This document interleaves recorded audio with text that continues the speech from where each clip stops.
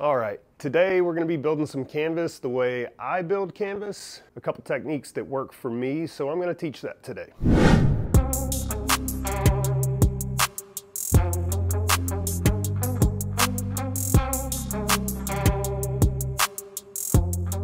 All right, so first you wanna start with a level table. Uh, again, I'm using the same kind of blocks that I use with my artwork, just wooden blocks essentially. Got my piece of visqueen, and then I'm gonna start with Luan, which is like this really thin plywood. It works for my art because the resin makes the canvas really strong. So I don't really need very thick plywood. So Luan comes in four foot by eight foot sheets, just like any kind of plywood. Uh, I guess like Home Depot or Lowe's also sells it cut down into smaller sizes, but full sheets, four foot by eight feet. So today I'm gonna be building a canvas that is six feet by three feet. So 36 by 72. So I'm gonna go 36 inches and I'm just gonna make that mark a few times just so I know it's where it needs to be by 72 inches.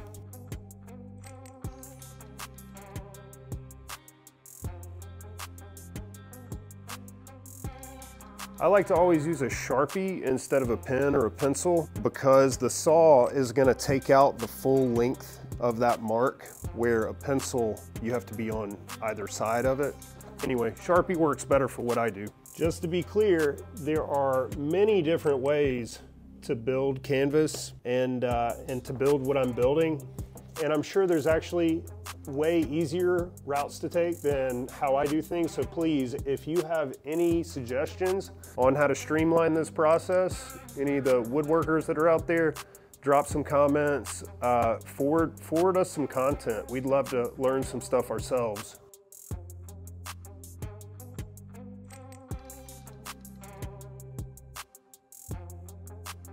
One of the most important things eye protection, masks, gloves, safety first. I like to use a skill saw for this part. Um, if you've ever seen any of my triptychs like this, you'll notice they're all the same size. Well, when you're building canvases for a triptych, it's always a great idea to cut them all at the same time. Make sure they're all lined up and clamped, all the wood is clamped and literally cut all three of them at the same time. That way they're all three the exact same size. You don't wanna have one of these panels be like a quarter inch taller than the other one because it's gonna look wonky, obviously.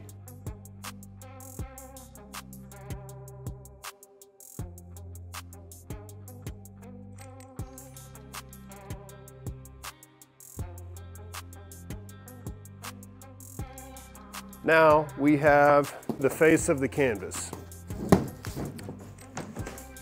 And I'm not gonna worry about sanding the edges just yet because we'll get to that once it's framed out. Now, I'm gonna set these up on top of the visqueen so I can move them around.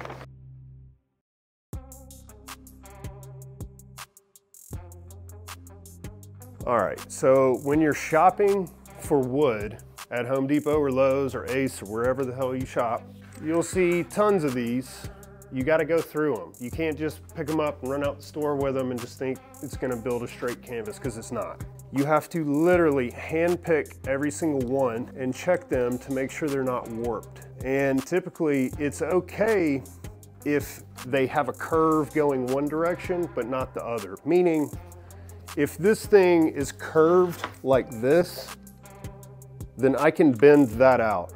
But if it's curved on the short end going this way, it's ruined. You can't, you can't use it for canvas. You could probably use it for something else, but not for canvas. So for instance, if this thing has a big curve in it like this, so like if this thing has a curve in it like this, and even if it's a really bad one, you can still straighten that out and brad nail it to get it to not warp.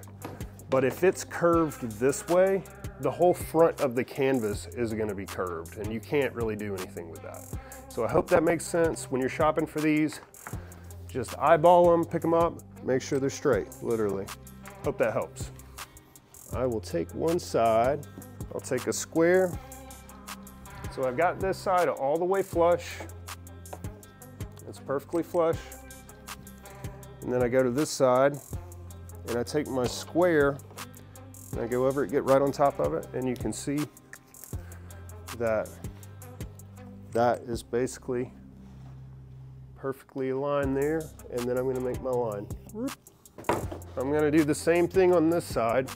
Now don't expect for this to be the same length as this. It might just be a millimeter different, but that makes a difference. So always measure all sides. Make sure you've got the perfect amount here. It's perfectly flush with that end. You go back. Some people use clamps. Like if I wanted to clamp that side, here I'll show you just because. Like if I wanted to come down here and say, okay, that's flush, and clamp it, that way it doesn't move, perfect. I'll come over here,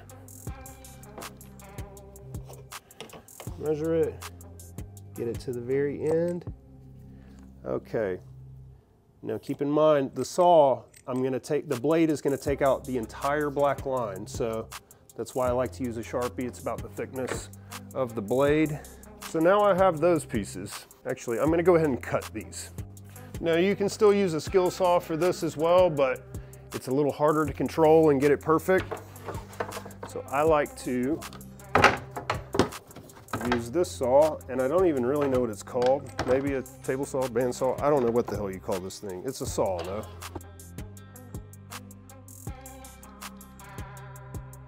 And that's pretty close. It has just a smidge overhang, but I mean, it's maybe half a millimeter. Like it's really close. We're gonna cut this side now. Boom. I love how quick it is so satisfying.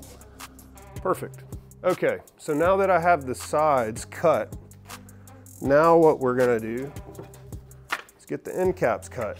You know, in this case, if it were 24 by 72, I could just use the leftovers to make the tops, but since it's 36, I'm gonna save these and use them for braces instead.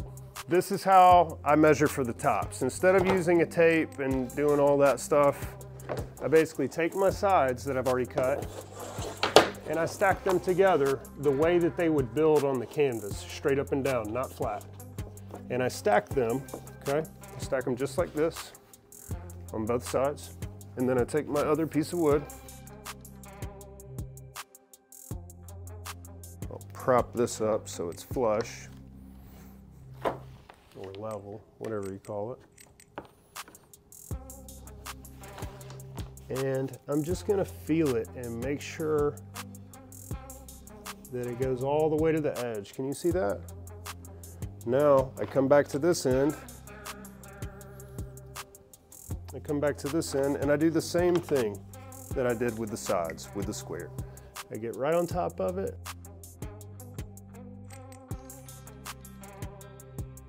And I'm gonna mark it.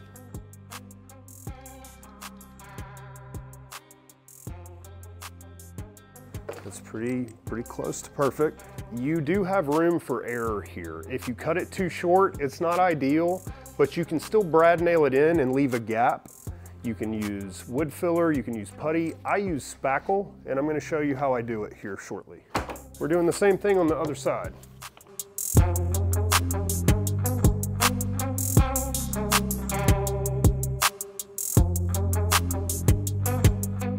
There's just a just a hair overhang. So if you see, there's just a little bit of overhang. So all I gotta do is take it back and cut just a little bit more off. So now you've got everything cut, which is like half the battle, okay? Now you're gonna put that other one back on the appropriate side and you're gonna set this up the exact way that you're gonna brad nail it. I use a brad nailer, brad gun, and a pneumatic air tank. For this one, I'm gonna use long brad nails, not these short ones. I line this up perfect. You can also use clamps. I'm actually gonna use clamps just to teach uh, the easier way to do this. And I'm literally gonna set this up to where it's perfect on both sides, okay?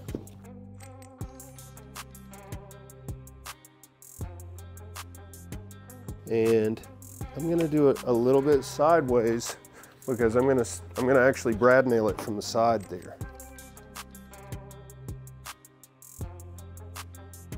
Like I said, you do have margin of error that, uh, that you can get away with, but it requires more sanding and nobody likes sanding. I know I hate sanding personally, so.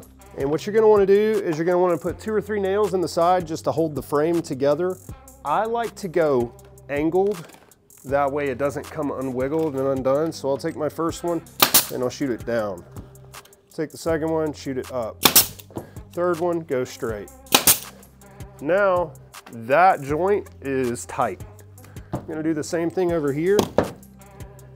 And if you need to correct these, now's a good time to do it. I'm gonna go just like this.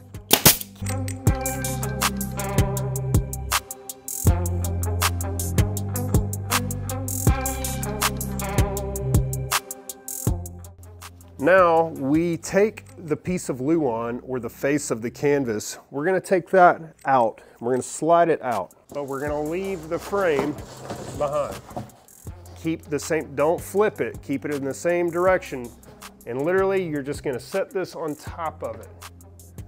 You're gonna set the face directly onto the frame. And before you start gluing and brad nailing, you're going to look at it and make sure that all the corners line up the way you want and that the canvas is actually sized appropriately, all the one by threes and everything. So now, if you look all the way around, it's gonna be pretty much on point. I'm gonna have to like bend it out on one side when I brad nail it, but other than that, it's gonna be pretty close. So now the next step is gonna be gluing it. Again, remember which direction you took the underlayment off because it's gonna go right back on top of it the same direction. So we're just gonna set it like this for now. And again, position all of these underneath your canvas perfectly. That way it's got something to sit on. And again, you don't want these to warp either. They're gonna have to sit overnight and dry or at least a couple hours, so you don't want them to warp. So have support under them. I like to use uh, Titebond original wood glue. You can use any type of wood glue for that matter, but this is what I use. You don't need a lot. A little bit goes a long way, but you wanna get a solid bead all the way around.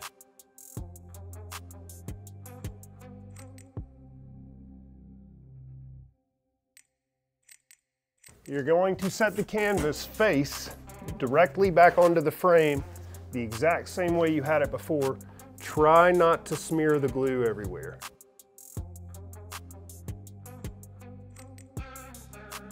So now that everything's positioned accordingly, and I'm gonna punch this thing sideways through it again. Not wonky sideways so it sh shoots out the side, straight up and down with the line of the one by three, but angled. Okay.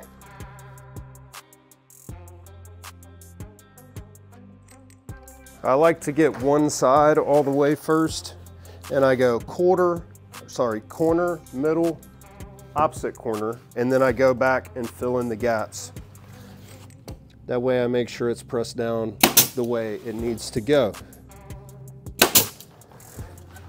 I'm gonna go back and go the opposite direction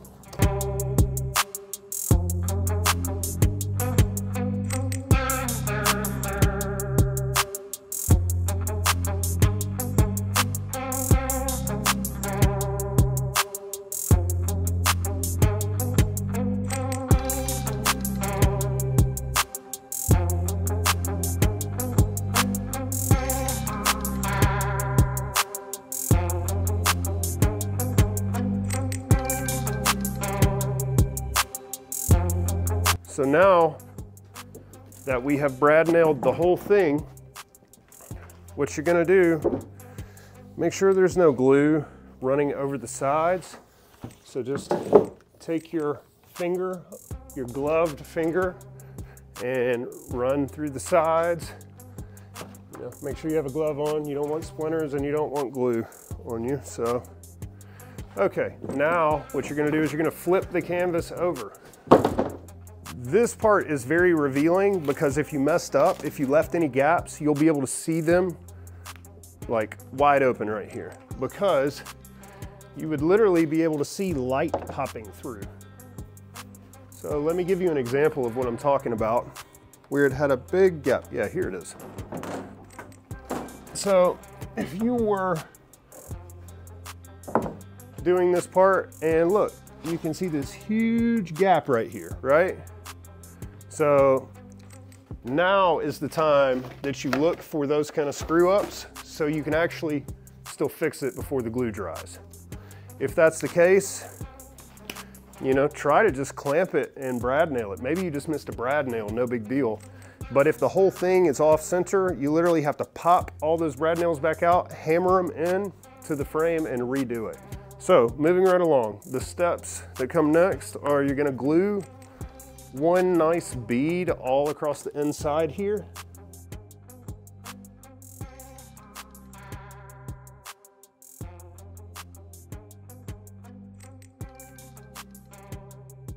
So I am just spreading the glue with my finger. Just basically, I go back and just run my finger over it. That way it kind of packs it into the crevice a little better.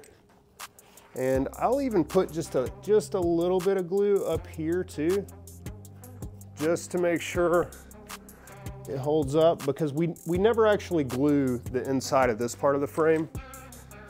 It's too messy. I avoid it. You could try it if you want, but you know, to each their own. It's not for me. That I'm gonna go back and do now are gonna be the cross braces, or corner braces rather, not cross bracing, corner braces. If you look at this canvas, you'll see you've got these corner braces. They make the world, a world of difference. They really do. They make a massive difference. Now it really doesn't matter what size you do. Just uh, try to make them all a similar length.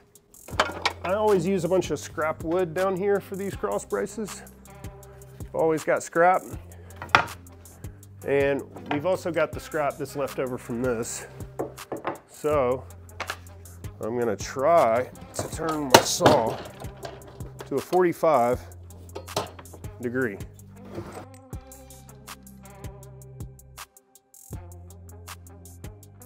So I go and I have them all pointing the same direction that I cut and then I just put a line on the top. That way when I go to saw them, they're all approximately the same length. For instance, I'll take this. You want the, the tapers to be going in the same direction like this.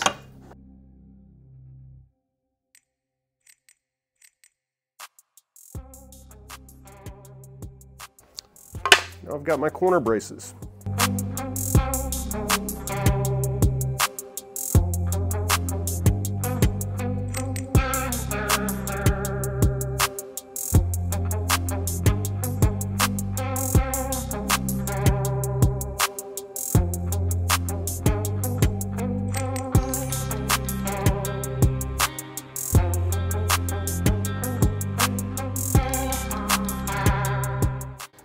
Go back and I will glue this as well. You know, there's something about making your own canvas. You know, anything that you're putting your energy into physically, working with your hands, I don't know. It's, uh, it's just got a different vibe to it, I think. Like when I used to order canvas from like Michael's or somewhere online, like Blick or whatever, that's great, it's convenient. It's also somewhat expensive and you have to go with whatever sizes that they have available. So there's a lot of really great things about building your own canvas. You know, for one, you're putting your energy into it and something about painting on a canvas that you've stretched or built, it's, it's just got a different feel to it. Another huge advantage for me though, the biggest advantage, is it allows me to build custom sizes. A lot of times I go in a home and I see a wall and I'm like, I know exactly what size this wall needs. I see a triptych there that's needs to be six feet by four feet wide, each panel, and I go back to the studio and I build it. Now six foot by four foot is a really easy size to find, but I think you get my point. It could be 33 and a half by 67 and a quarter, whatever, you get what I'm saying. Another huge reason why you would want to build your own canvas is to save money. As long as you have the space and tools to build it, you're gonna save a lot of money building your own canvas depending on how much work you produce. You'll see some of these brad nails went astray and punched through in areas that I didn't really mean for them to punch through. So I go back with needle nose pliers like this and I just bend them until they break.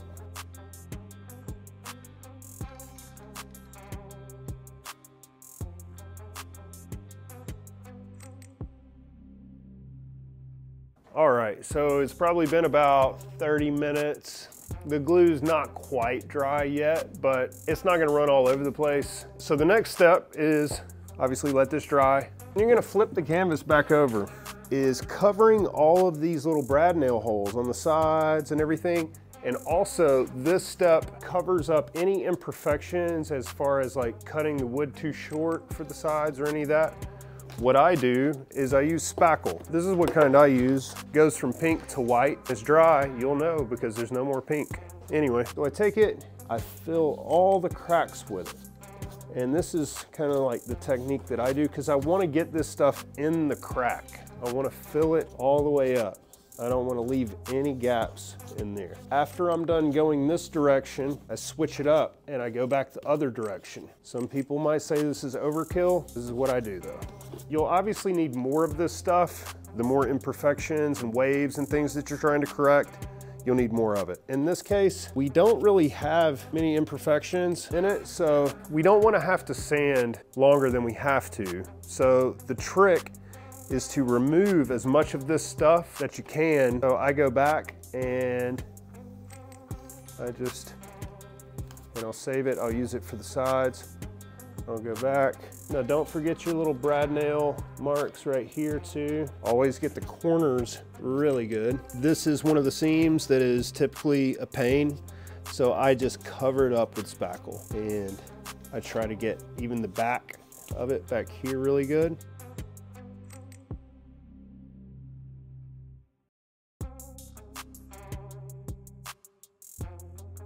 Now don't forget, you've got to get all of these little marks on the front of the canvas too.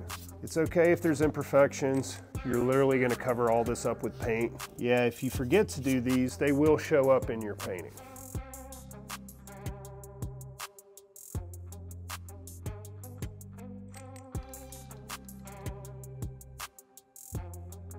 And then also tomorrow, when we go back and sand all this, we're gonna sand the edges too so it has a nice rounded edge.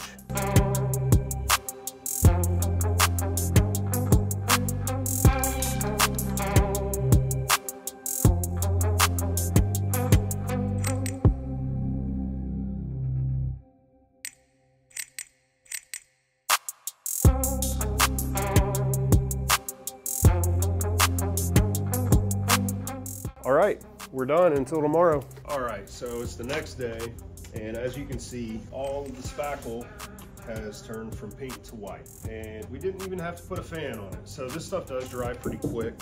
What we're gonna do is we're gonna sand.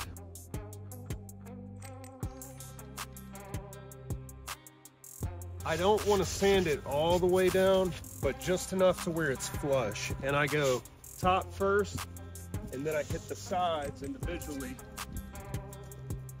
And after all that's done, then I will go back at like a, what is it, a 45 degree and just fairly really quick hit all of the edges so it has just a little bit of a bevel.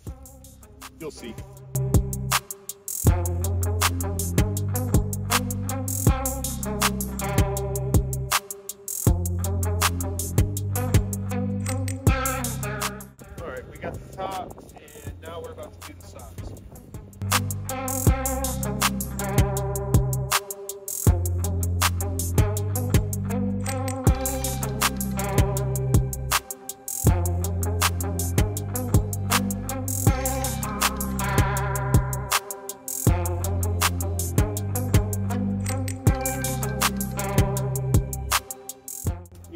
Things that I like to do also, these stickers like this, total pain in the butt.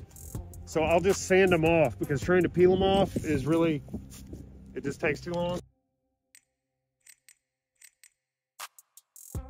Back underneath it and just kind of level, um, just just barely tap it, just to level whatever's whatever spackles underneath. And then the last part is to go back at a 45 degree angle, just like you literally just barely have to touch it. Let the let the tool do the work.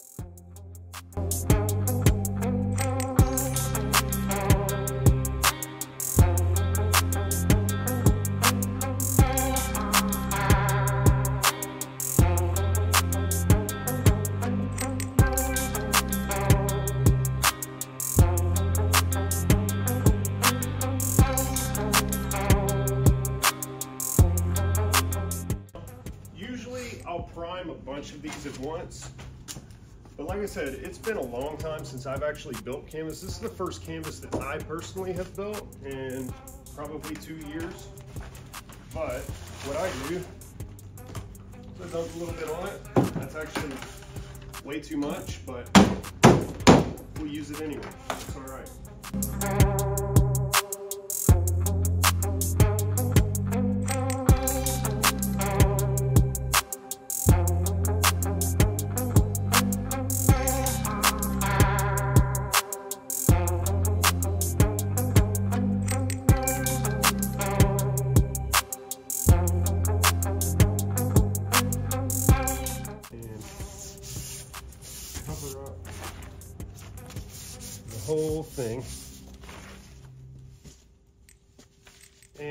By threes that we used for this project are already primed white. Uh, but you don't have to use primed one by threes. They're probably cheaper if you can find straight ones that are not primed because you're just gonna paint over it anyway. But the one thing that will show through really quick here is like the edge of the underlayment. So let me try to find an example, like here, basically. That's the spots that you really gotta be diligent about covering because that will show up in your final product.